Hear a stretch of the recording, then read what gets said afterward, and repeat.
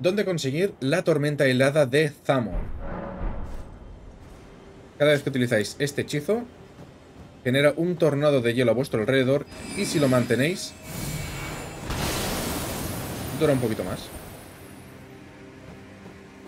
Ya veis que el tornado tampoco dura mucho, ¿vale? Es más bien para hacer un ataque de zona. ¿Y dónde se consigue? Se consigue concretamente en las ruinas de Zamo, como el propio nombre del hechizo llama. Si vais a este punto de aquí, veréis ya que hay un punto que brilla. Ese punto es el hechizo. ¿Y dónde está ubicado esto? Ahí. A lo lejos, arriba.